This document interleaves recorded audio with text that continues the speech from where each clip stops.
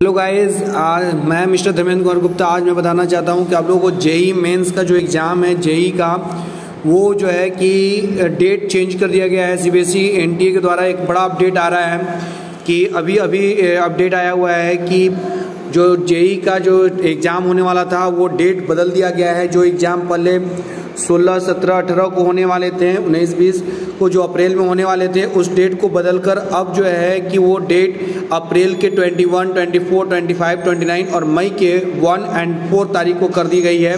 2022 में जो एग्ज़ाम होने वाली है एनटीए के द्वारा वो कर दी गई है। कारण इसका ये बताया जा रहा है कि बहुत से बच्चों ने इस पर अप्लीकेशन डाला हुआ था कि बहुत से एग्ज़ाम्स बहुत से जो राज्य के बोर्ड के जो एग्ज़ाम होने वाले थे, वो उसी समय थे और ये दोनों जो एग्ज़ाम थे वो लाइज कर रहे थे, जिसके कारण सीबीएसई ने अपडेट करते हुए डेट को चेंज किया है। जैसे पहले जो डेट था वो 16 तारीख था 17 तारीख था 18 तारीख था और 19 20 22 था। जबकि अब जो है वो डेट को बदल कर अप्रैल महीने में 21, 24, 25 और 29 को कर दिया गया है और मई के महीने में वन और फोर को कर वन और फोर मई को कर दिया गया है।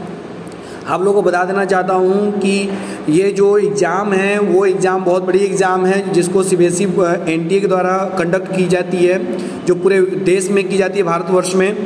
और यहाँ पर जो है कि जो कि दोनों सीबीएसई बोर्ड के जो एग्ज़ाम्स थे या जो स्टेट बोर्ड के एग्ज़ाम थे, वो दोनों लाइज कर रहे थे। इस कारण इस कारण से नेशनल टेस्टिंग एजेंसी यानी एनटीए ने इस पर एक कड़ा जो है कि एक्शन लेते हुए इस डेट को चेंज किया है। और इस पर अभी बता देना चाहता हूँ कि तेलंगाना सरकार ने भी अपने जो एग्ज़ाम बोर्ड के जो डेट थी उस पर चेंज की थी। तो बंगाल में भी ये बात चल रही थी कि टाइम को चेंज किया जाए। लेकिन यहाँ पर जो है कि सी एजेंसी, जो नेशनल टेस्टिंग एजेंसी है, उसने अपने आप को ही यहाँ पर बदलाव किया है और अपने डेट को चेंज किया। ये बहुत बड़ी अपडेट है जेई मेन्स की तैयारी करने वाले लोगों के लिए। इसे ज़्यादा से ज़्यादा शेयर करें, लाइक करें, सब्सक्राइब करना ना भूलें। Thank you.